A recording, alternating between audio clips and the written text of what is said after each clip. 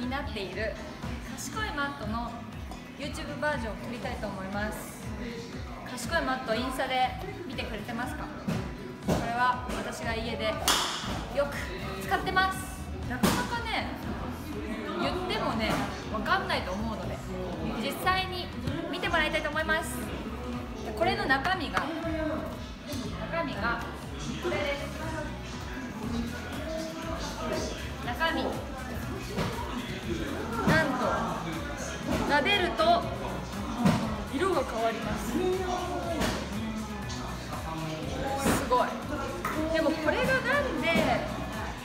フに役立つかと言いますと打ってみましょう。まずいきます。マジックみたいになるから一瞬目を離さず見てください。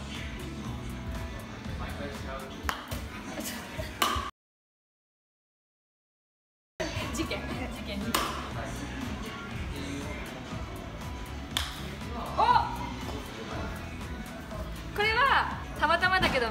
くターフを取れてるバージョン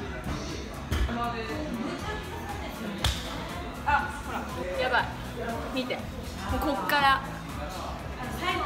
こっから入っちゃうボールここなのにこれが賢いと言われるマットです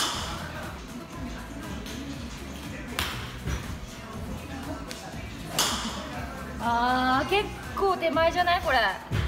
結構手前この辺からちょっとさささってなってます、ダフってます。これもっとねいろいろ見れるんですよ。スライスだったらこう入るとか。ちょっと森さんに聞いてみよう。一番正しい正しい入りとかみたい。正しい入り。構えてボールに対してこれ正しい。うん。ここ素振りで特に素振りやればいいからここで構えといてここで落ちると。おー全然違う。全然違う。ここは下降中に当たってるってでしょ？ボールは。それがダウンブローの。これ今えここんなこんな先なんですか？そうあってもいい。そう。そう。普通にこう体重移動が入ってきたらオールちゃんやってこうやってこうやって。マジ？やってみて。ハンドファーストだったらね。そう。ここで構えてんだけどバックアップポイントはここ。このぐらいめちゃくちゃいいです。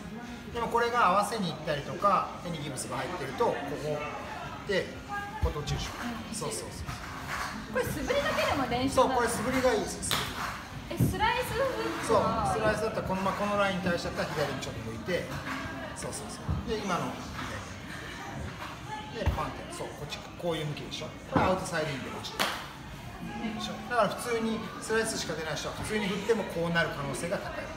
へそうえはいで今度右向いてそうドローこう後方にデラマ出したいでこうなるでしょでこれは奇跡的してもダウンブローでミサイルアウトでしょだから自分のイメージしたところよりもこっちに落ちるのが普通のショットでは通常ではよくてサンドウェッジとかでバンカーショットだったらちょっとここからカーブに行く。そうそうでも普通のショットでここから入ってくることはないダフりないダフリ、だからこのマットだと結構普通の人がやるとうわこれはダフるわなって分かってくる、プロゴルファーとかもこれで結構上級者になるとこの前にかませるのは多分いくらでもできるんですよみんなプロで手前に落ちる人ほぼいないですかいやでも高い球を打ちさっき言った高い球を打ちたいとかどういう球を打ちたいかだからちょっと高い球とかシャローに入れると思ったらこういうとかでも多分ほとんどプロの場合は高い球しても多分ここっちにはあんま落ちないでも逆にバンカーショットでこうやって構えといてこうとか言ったらこう感じあじゃあバンカー練習もできる。バンカー練習にもなるもちろん。バンカーがここでバンカーがハンドファーストに入りすぎたりとかダンボールに入りすぎるとこれホームランでしょここの砂を取りたいわけだ。からこの辺の。ボールがこれでしょ？ボールがこれだったらここに落としたいわけじゃないですか。だから開いといてこうやったらバンカー。だからバンカー練習アプローチ練習フルショット全部いいっすよ。でも最下点クラブが落ちるどこに落ちるかっていう意識がすごい大事だよと。うんうまくなるには王者もずっとそればっかり言わさ言わせたでしょはい。このマットマット自体は動いてる全然そうそれぐらいそれがお見事。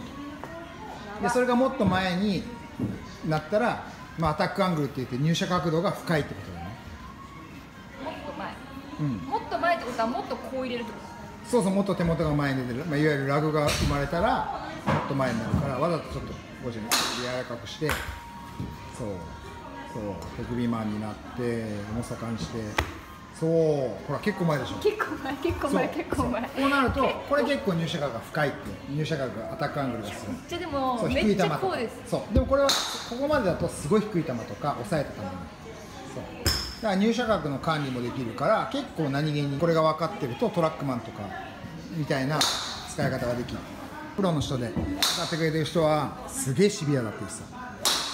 プロでもそう感じるから結構あ新たな発見があるかもしれない。皆さん賢いマットの売っている先は URL に貼っておくので見てください。お値段は薄い方が7000円。さっき使ってた方ですね。ちょっとこの分厚い方はあの衝撃とか結構吸収してくれて室内だとあのビリビリってマジックテープもついてるんでこっちが1万円です。はい。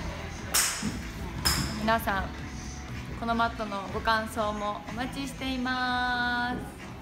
バイバーイ。YouTube の。これ小さささ